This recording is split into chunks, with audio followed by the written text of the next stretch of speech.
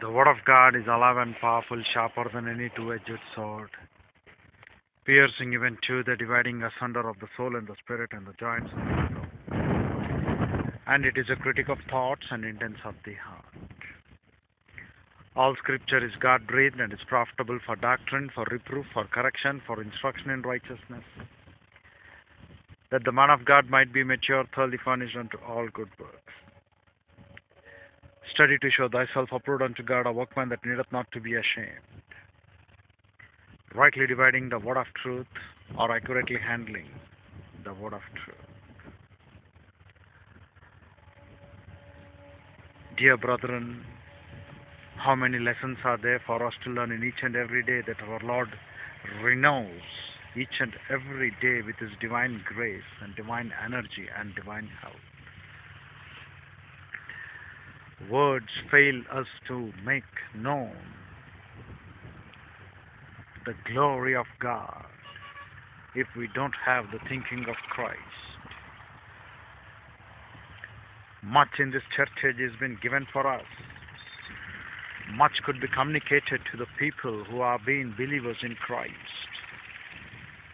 And to the unbelievers, as long as we are being kept as a witnesses, as an ambassador for God on this earth, we could make them to snatch out from the eternal hell as many as we can through the holy manner of walk and through the ambassador laid down shape upon every believer the responsibility this ambassadorship which has been laid down for the responsibility upon every believer is of a great, great work. After the church rapture, and then taking into consideration the most important event, the tribulation for seven years, and then the millennium. After the end of the millennium, those who do not believe along with Satan, these unbelievers will be casted into the lake of fire forever and forever. Pharaoh hardened his heart not to know the law, though Lord gave much gracious, ample chances for him to know. So are today's men in the Christendom today, who are not going to take the real grace of the Lord and to show forth to these unbelievers who will be perishing forever and forever into the eternal lake of fire.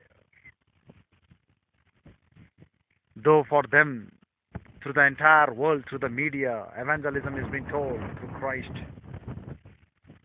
It has to be a proper revelation of the gospel to them and which is not so sound, which has to be by faith alone in Christ alone, graciously, which our Lord gratuitously gave Himself as an offering for us, causing to be reconciliated, making us to be in the propitiatory shelter. All these things which the Word of the Lord explains for us so dogmatically. When it has not been presented, represented very faithfully to those hearers, when it has not been made known to these men definitely they will be having a doubt about their salvation. Definitely they will be thinking, my gods are better because I can go and serve them rather than serving this Christ. Because our Lord says just to come and believe and you will be saved. But they say, how you can believe by just not doing any works. So Christianity is also following the trends of doing works to be saved, and thus the salvation gospel, which has to be so pure and true, is been mingled with heresy, cults, works. Not only there it ends, they have not kept the doctrine straight towards the gospel, how can they make the doctrine straight in the church, which has to be number one priority in our pulpits, the mystery doctrine of the church age? They are not able to understand how true it has to be. They are not able to concern how pure we have to be. They are not able to understand what are we losing if you are not able to give number one priority for doctrine in their churches how corrupt they are thinking about salvation, about the gospel, much more corrupt and worst they are concerning the doctrine. Therefore, Apostle Paul, while writing to the Philippians, he tells, together with the episcopus and dicaesunes, the one who have the duties to tell, and the deacons who are there to help them in establishing this word. And this is only to a male believer. And to a female believer, it is not. It is not given the office to serve, to have authority. But they have been given only to service, like playing arms, which we can note in Apostle chapter 6. But many of the people do not even know the differentiation that a woman should never and never can she have authority to stand in the pulpit and to preach. But today, the things have been totally changed. Do you know why this church is so much specifically true and genuine to God? Or it has to be so much holy to God? Why our Lord says, Before the foundation of the world I have chosen and kept for you to this mystery doctrine of the church age to be holy and blameless. You known ever anything about it? You will never understand what it is. In Daniel chapter 9, verse 24, we have the reason what it is. The everlasting righteousness will be given when all these things will come to an end. That everlasting righteousness will be after the human history will be absolutely taken out. The last trial of the human history after the millennium. But right now, our Lord wants in this church age a replica or a model of that righteousness through us. Because He has imputed that righteousness for us by faith alone in Christ alone. And we are no longer here to hold that righteousness by our works, by our deeds, by XYZ reasons. Therefore, this church is unique. Therefore, this church age is very great. And this righteousness which our Lord imputes to each and every believer is of Him, and it is not by our own works that we should boast. It is for according to His own purpose He has designed for us in eternity past. But many of the pastors do not even have a thought to consider if the everlasting righteousness which would come after millennium, the new heaven and the new earth, right now what that righteousness our Lord demands through the mentor ministry indwelling in us, Lord God the Holy Spirit. And that righteousness begins with the number one priority for salvation by faith alone in Christ alone. And that righteousness works through us as we grow upon as told in Ephesians 4.24, you have been made in tes aletheia and in true righteousness of our Lord. The righteousness which could be inherited by the word of the Lord that you take. But many people do not know what it is. That righteousness which we have to show forth. And several times the fruit of the Spirit in Ephesians 5 9 it says, it's in righteousness, goodness, and in truth. And dear brethren, why these people are not able to understand? The main reason is the pastor teacher has failed to communicate properly, totally, completely. The pastor teacher has flunked the test because they don't have the bona fide gift of teaching, so they come to the pulpits. They don't have real understanding of the word of the Lord, then too they come to the pulpits. And dear brethren, Apostle Paul himself claims that I am a preacher, teacher, and apostle. Now an apostleship has been removed, but we do have preaching and teaching, which is a work of a pastor teacher. And he says, I am an ambassador in Ephesians 6.20 for this world message. How many believers are really having this burden to be an ambassador for Lord? How many pastor teachers are really having the burden to be an ambassador at the same time, a burden to be a pastor teacher in rightly dividing the word of truth?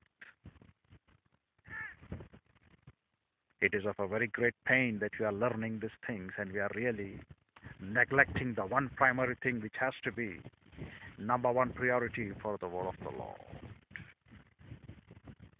as long as you may go in this earth. So long if you are ignoring Bible doctrine, if you are ignoring that our Lord wants a replica of a copy of His righteousness on this earth, wherewith our Lord wants to represent to this people, because in the later half, after the millennium, everlasting righteousness will come. But right now he wants a copy of that righteousness for us. Therefore Ephesians 4.24 declares to us that we have been made and put on the new man, which has been created after the image of him, which is in great righteousness and tes aletheia of the truth which we have to grow up. The true holiness. Hasiosos tes aletheia. The truth which can give you that righteousness. The first righteousness is by salvation, by faith alone in Christ alone, which has been imputed for you, that is of God, not of your own. And second righteousness, you have to grow up in the holiness through the truth. Then only that righteousness will be manifested in us. If not, we are not able to look, not able to consider, not able to think how it could be, where it could be, when it could be. Dear brethren, today's pastor teachers are really teaching rebellion against the true essence of Bible doctrine. What the epistles say about the church, what we have to be, what is every believer, what is alekeneketesis, what is politeuma privileges for us, what is the purpose that our Lord has chosen and kept to this earth. This has become really a great pain for many of the people not able to understand. And they have really been forsaking the truth. And you know how much are we growing and squelching glad God the Holy Spirit without growing to the intention where our Lord has intended for us to be? We are growing wickedly, but we are not going growing up righteously in the holiness of God. Because we don't take number one priority for Bible doctrine. That's why. And many of the people are not able to understand what it is, where it is, why it is. The source is the church. We are being baptized into one spirit and we are being told not to forsake the assembly of God so that the pastor teacher should train you up. And if there are not enough people who are really interested for number one priority for Bible doctrine, our Lord said that two or three, in them I am in the midst of them to teach. Lord requires quality, not quantity. Where two or three are gathered with the true hope in the Bible doctrine, our Lord could train us up for His glory. But, dear brethren, many people are not able to understand that sample of righteousness which will come again in the everlasting righteousness after the millennium is being manifested now through us, through the church. Every believer has been given this true righteousness. Every believer has been given this true holiness. And that righteousness and holiness could be maintained by the true, completed canon of Scripture. And you may say you don't have it, so you are a fool because you have the indwelling ministry of Lord God, the Holy Spirit, and He's going to train you up if you are desiring for the truth. And what does He do? He will send you the right pastor teachers to in return to train you up. And that is the real work of Lord God, the Holy Spirit, dear brother. To cause you to train up to the image where our Lord has called to cause it to think to the praise of His glory and His grace. And we are not here for any simple, stupid, XYZ reasons, playing poker with morality, legalism, circumcision, and thinking that I will be saved. No. Graciously, the propitiatory shelter of expiation given to us for the redemption through reconciliation is through His righteousness by faith alone in Christ alone in His grace. And if you're not able to understand these things, Lord help you. Why many of the people are not able to look, nor consider, nor think? Because they have really lost that which has to be true in the church Dear brethren, think over these issues. Time is too short. Responsible to lay down upon our shoulders is too large. Much is given for us to duplicate and show for the millennium, show after the millennium as well. But less are, but less we are representing. So which way you want to go, you decide. We shall come back and continue tomorrow with our headboard and eyes closed. The closing moments being dedicated to those. For here without Christ, without hope, and without eternal life, inaudibly telling to Lord God the Father that you believe upon Christ, that is the moment itself you shall have this eternal truth. This eternal truth for is for very simple, believing Christ you shall be saved. Whereas for the believer, the great merit is to grow up in grace and the knowledge of Bible doctrine. You shall learn to acquire to further know the truth, the truth shall set you free. And for the pastor teacher, the great merit is to kerusothon logan, herald the word in season and out of season, because of the diamatrum of witnesses wherewith you have been called. Number one, diamatrum of witnesses, indwelling Trinity, followed by the Bible in our hands. And number two, diamatrum of witnesses, our hearers. If there are no hearers, dear brethren, not worry, besides nature, the entire angelic host will be our witnesses. But what is our work? Our work is to rightly divide the word of truth and to show forth one sample copy of that everlasting righteousness which will be revealed when the human history ends. But we have something more in this church age to show forth as aleke nekedesis. So, dear brethren, which way you want to go, you decide, as we shall come back and continue tomorrow. Father, we are grateful for the privilege that was given to fellowship through the word, particularly for the revelation of everlasting righteousness which will be. So, Father, help us to really stand forth in thy true holiness and in true righteousness only when we walk in thy truth in the fellowship of Lord God, the Holy Spirit, by confessing of our sins. To be in the fellowship of Lord God, the Holy Spirit, first we need to be a believer. A spiritually dead person, an unbeliever, can never be to this, nor he can understand the spiritual phenomena. But rather, Lord, you have given for us the Spirit to understand. We thank thee for this privilege, O Lord, and help us to utilize this to the maximum glorification for Christ in maximum efficiency as we are going through maximum in this church age. For we ask it in Christ's name, sovereign Lord.